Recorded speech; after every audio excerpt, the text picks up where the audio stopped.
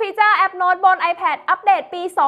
2023 ที่มีฟีเจอร์น่าใช้เยอะกว่าที่เราคิดอีกนะคะ ไม่ใช่แค่เอาไว้พิมพ์หรือว่าเอาไว้ใช้จดด้วย Apple Pencil อย่างเดียว จะมีฟีเจอร์อะไรน่าสนใจบ้าง กดติดตามช่อง iMod Official กันไว้ก่อน แล้วก็ไปชมคลิปนี้พร้อมกันเลยค่ะ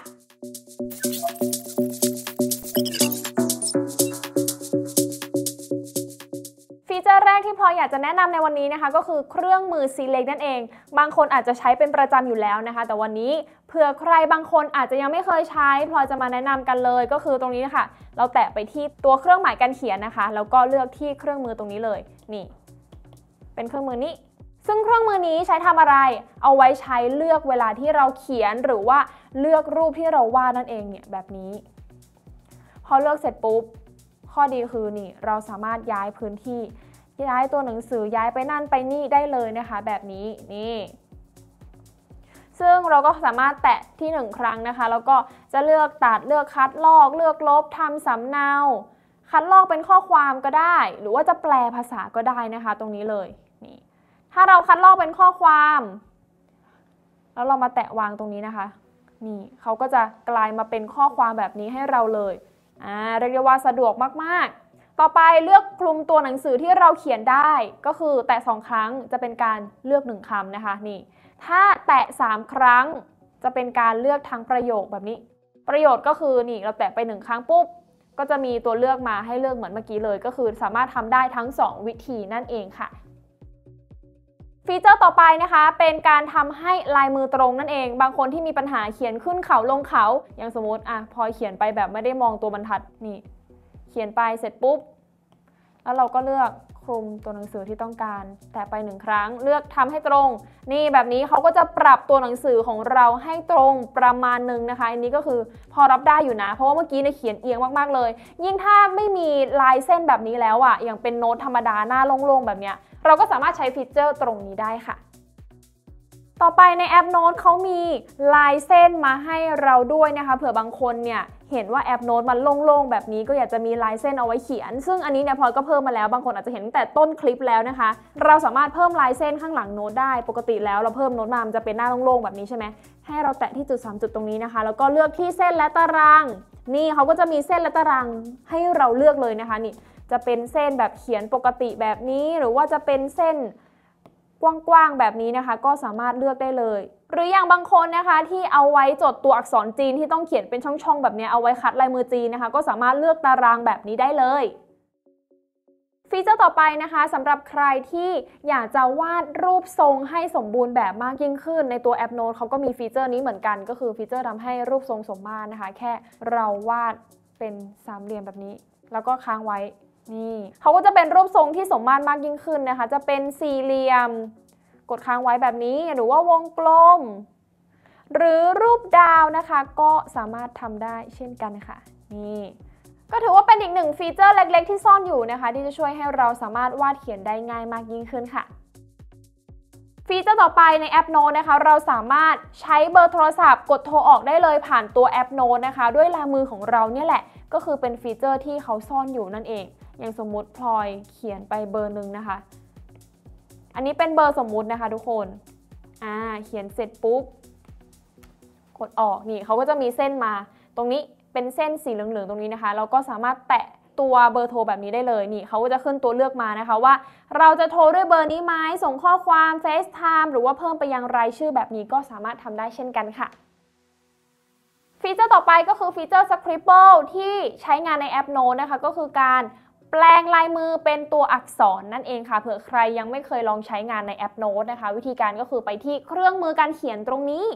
แล้วก็เลือกที่เครื่องมือตัวนี้ค่ะ เป็นตัว A ตรงนี้นะคะ แล้วเราก็เขียนลงไปได้เลยนะคะ หลังจากที่เลือกเครื่องมือเรียบร้อยแล้ว ซึ่งฟีเจอร์ Scribble นี้รองรับภาษาไทยด้วยนะคะใน iPad OS 16 ค่ะ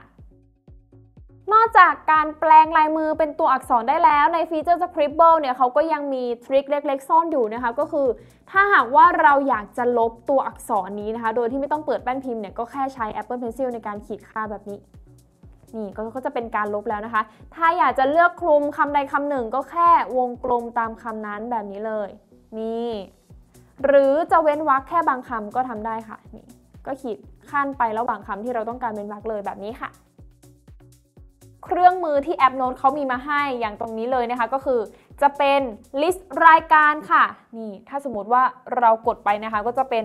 วงกลมตัวเช็คถูกแบบนี้นะคะ เราก็สามารถเลือกได้เลยอย่างสมมติพลอยจะเขียนเป็นว่า รายการซื้อของ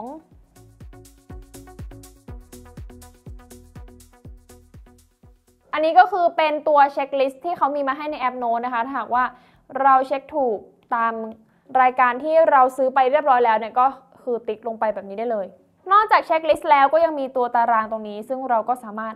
เลือกเพิ่มได้เช่นกันค่ะนี่เพิ่มคอลัมน์ตรงนี้ได้นะคะ เพิ่มคอลัมน์เป็น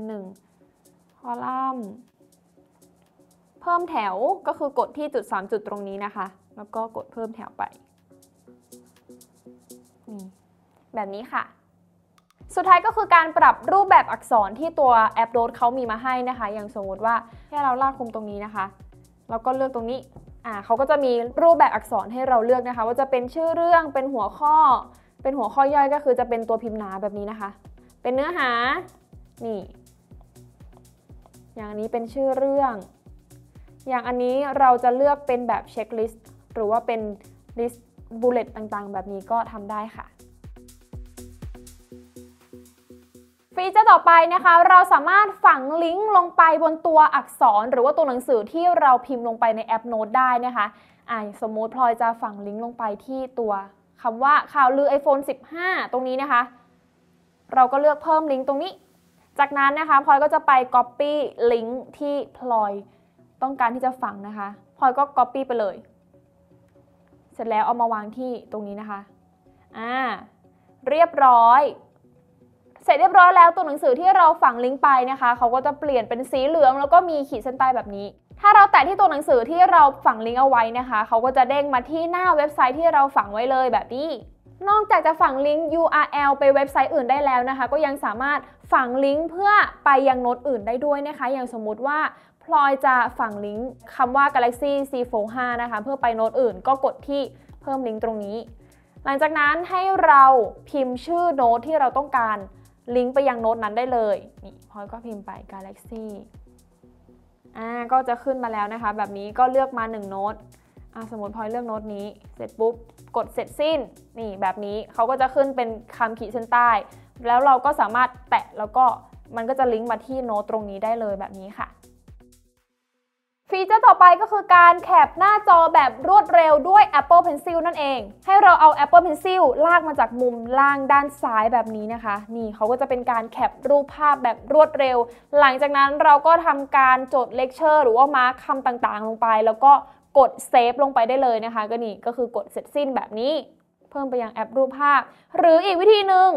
เราก็ยังสามารถเลือกเพิ่มไปยังโน้ตด่วนได้ เพื่อที่เราจะสามารถ short note แล้วก็บันทึกคำต่างๆ ลงไปต่อได้เลยแบบนี้ค่ะ ต่อไปเป็นการเรียกดูโน้ตด่วนแบบด่วนสุดๆ ก็คือใช้เหมือนเดิมเลย Apple Pencil นะคะ ลากมาจากมุมล่างด้านขวาแบบนี้ขึ้นมานี่ก็จะกลายเป็นโน้ตด่วนแบบนี้ ซึ่งเราก็สามารถพิมพ์หรือว่าจดโน้ตอะไรต่างๆ ลงไปณตอนนี้ได้เลย เสร็จแล้วก็กดเสร็จสิ้นค่ะ วิธีการนี้เราสามารถเข้าไปตั้งค่าเพื่อเรียกใช้งานโน้ตด่วนได้นะคะ ก็คือไปที่การตั้งค่าแล้วก็ไปที่ แอปโน้ตนะคะ หลังจากนั้นเลือกที่คำสั่งนิ้วปัดมุม นี่ ปัดมุมด้านซ้ายเป็นการถ่ายภาพหน้าจอจากวิธีเมื่อสักครู่นะคะ แล้วก็ปัดมุมด้านขวาเป็นการเลือกโน้ตด่วน ซึ่งเราก็สามารถเลือกคำสั่งตามนี้ได้เลยนะคะ แล้วแต่คนถนัดว่าจะเอาโน้ตด่วนไว้ด้านไหน หรือว่าเอาถ่ายภาพหน้าจอไว้ด้านไหนนะคะ และถ้าสมมุติว่าใครที่อ่านบทความอยู่ แล้วอยากจะบันทึกโน้ตด่วนจริง ๆ ลากขึ้นมาแบบนี้ นี่เขาก็จะมีลิงก์ขึ้นมาให้แบบนี้นะคะ เป็นลิงก์ที่ในขณะที่เรากำลังอ่านอยู่ใน Safari นะ เราก็สามารถกดเพิ่มลิงก์แบบนี้ลงไปได้เลย นี่เขาก็จะบันทึกไว้แบบนี้นะคะ เวลาที่เรากลับมาอ่าน หรือว่าขณะที่เราจดโน้ตอยู่เนี่ยก็จะได้รู้ว่า เอ้ยเรากำลังอ่านบทความนี้จากเว็บไซต์นี้นะคะ ก็สามารถเข้ามาดูโน้ตด่วนที่เราเรียกใช้ไว้ได้ตรงนี้เลยนะคะ ก็จะเป็นแถบตรงนี้ แล้วก็เลือกโน้ตด่วนตรงนี้นะคะ นี่ อันนี้ก็คือเว็บไซต์ที่พลอยเพิ่มไปไว้เมื่อกี้นะคะ อย่างสมมุติว่าเราโน้ตไว้อยู่แล้วอยากจะรู้ที่มาเนี่ยก็แค่แตะตรงนี้ มันก็จะลิงก์มาที่หน้าบทความเดิมเลย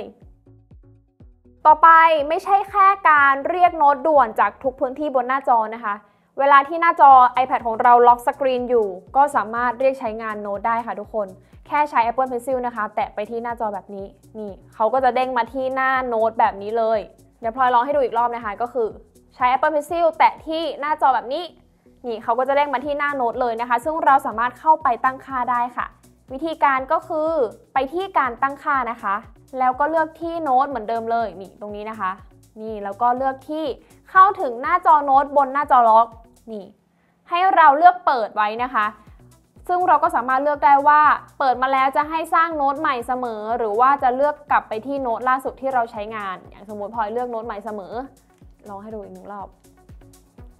Apple Pencil แตะนี่เขาก็จะมาที่โน้ตใหม่แบบนี้เลยค่ะ มาดูกันที่ฟีเจอร์ต่อไปนะคะ โน้ตที่เราจดอยู่ในแอปโน้ตเนี่ยเราสามารถบันทึกออกมาเป็นไฟล์ PDF ได้ด้วยค่ะ อย่างอันนี้เป็นสคริปต์ที่พลอยเขียนไว้นะคะ แล้วก็อยากจะเอาออกมาเป็นไฟล์ PDF ก็แค่กดที่ตรงนี้เลยค่ะกดที่ไอคอนตรงนี้นะคะ ก็คือไอคอนแชร์ตรงนี้ หลังจากนั้นนะคะให้เราเลือกเป็นส่งสำเนาแบบนี้นะคะ แล้วก็ให้เลือกที่บันทึกไปยังแอปไฟล์แบบนี้ค่ะ แล้วเราก็เลือกที่โฟลเดอร์ที่เราต้องการนะคะ เดี๋ยวพลอยจะเลือกบันทึกไปใน iPad ของฉัน อันนี้ก็เป็นรีวิวแล้วกัน เสร็จเรียบร้อยแล้วนะคะ กดบันทึกนี่เดี๋ยวเราลองกลับไปดูที่แอปไฟล์นะคะ ใน iPad ของฉัน ไฟล์รีวิวนี่เขาก็จะมาเป็นไฟล์ PDF แบบนี้เลย นอกจากจะบันทึกโน้ตออกมาเป็นไฟล์ PDF ได้แล้วนะคะ ในตอนนี้ iPad OS 17 Apple เขาก็อัปเดตให้เราสามารถ